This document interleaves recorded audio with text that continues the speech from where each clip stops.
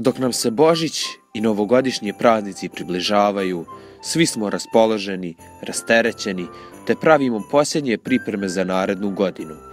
Manja djeca se raduju poklonima, snježnim danima i naravno onome najvažnijem, djeda mrazu. Čak i oni koji znaju da je ovo samo dugogodišnja legenda, euforija oko praznika u svima nama bare malo probudi vjerovanje u njega. Ipak, danas u svijetu postoji mnogo različitih i čudnih djed mrazova. Ovim videom vam želim mnogo sreće, zdravlja i veselja, naravno i uspjeha u narednoj godini. Prije samog početka zamolio bih vas da lajkujete ovaj video te da se pretplatite na moj kanal kako bi podržali moj rad i vidjeli još ovakvih klipova. Top 5. Djed mrazova uhvaćenih kamerom.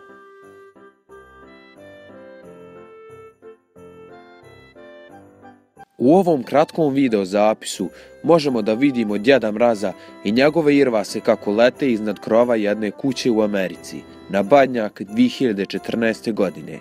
Ovaj video može upaliti ako je nečije dijete najnaivnija osoba na svijetu. Kada je djed mraz proletio ispred kamere, nemoguće zanemariti činjenicu da se nijedna od irvasovi nogu nije pomerila. Ipak, čini se da se kreće. To u osnovi izgleda kao izrezana slika koja je samo montirana u video.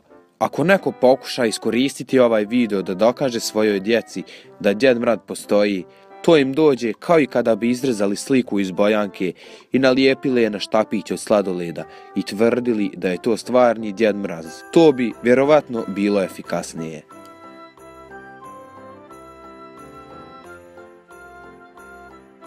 Postoje neki roditelji koji imaju veoma čudan smisao za humor. To potvrđuje jedan otac iz Amerike koji umjesto da pokaže svojoj djeci veseli božićni video djeda mraza obučenog u svoje odijelo, odlučio je da pokaže strašnog snimljenog djeda mraza kako bi uplašio svoju djecu. Na ovom snimku djed mraz nosi jezivu bijelu masku preko čitavog lica, te se ovdje može vidjeti kako on polaže poklone pored jelke.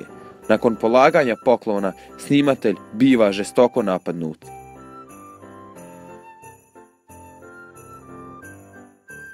Za razliku od roditelja koji žele da njihova djeca imaju doživotne traume, neki roditelji su se istinski potrudili uvjeriti svoju djecu da Djed Mraz zaista i dalje postoji. 2014. godine dva roditelja iz Kalifornije odlučili su da slučajno snime Djeda Mraza kako ostavlja poklone ispod jelke. Nakon toga, Djed Mraz bježi kroz dimnjak u pratnji svjetla koje treperi i veoma glupog zvučnog efekta. Ipak, morate pohvaliti ove roditelje i njihov trud, jer su se čak sjetili da pod pospu pepelom ispeći.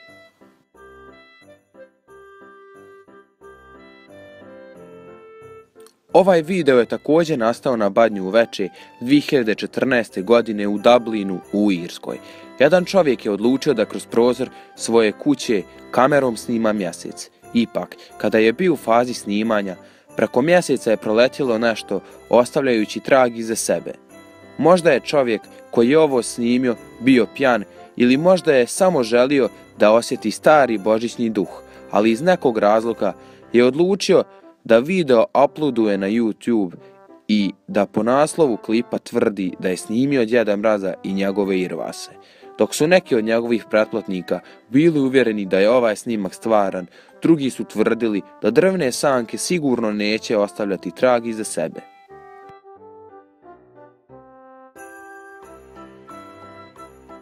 Ponekad roditelji imaju svoj način da prošire praznično raspoloženje oko sebe, a ponekad i da izgube opkladu. Naime, ovaj momak iz Amerike se složio da će biti djad mraz samo pod uslovom da dok izvršava tu dužnost bude pijan.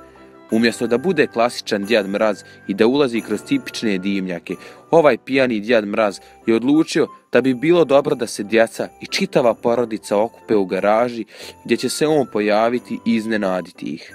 Nakon pokušaja da skoči sa garaže, on pada i jako udara od džipa. Djeca ne izgledaju baš zabrinuto, njima je ovo čak i zanimljivo, ali roditelji su ipak zabrnuti.